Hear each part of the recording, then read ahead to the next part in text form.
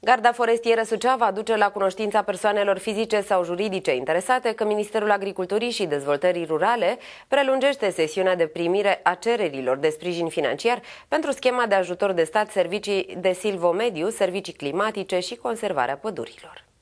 Dosarele tehnice care se întocmesc în acest scop se pot transmite prin poștă cu confirmare de primire sau se depun de către beneficiar la sediul Gărzii Forestiere Suceava din municipiul Suceava cu minimum 15 zile înainte de data limită de primire a cererilor de sprijin financiar la centrele județene APIA. Beneficiarii schemei pot fi unități administrativ-teritoriale care au în proprietate publică sau privată terenuri forestiere, persoane fizice și juridice care au în proprietate terenuri forestiere forestiere și asociații ale acestora. Suprafața minimă pentru care se pot încheia angajamente de silvomediu este de 100 de hectare și trebuie să facă parte dintr-un angajament silvic în vigoare. Pentru a fi eligibil, solicitanții trebuie să îndeplinească o serie de condiții. Ghidul solicitantului și toate informațiile necesare privind accesarea sprijinului financiar prin submăsura 15.1 plăți pentru angajamente de silvomediu sunt disponibile în format electronic pe site-urile apia.org www.afir.ro sau www.afir.ro. Detalii se pot obține de la centrele județene Apia și gărzile forestiere județene, în a căror arie de competență se regăsesc terenurile forestiere pentru care se solicită sprijin financiar, precum și de la sediul central al gărzii forestiere din municipiul Suceava.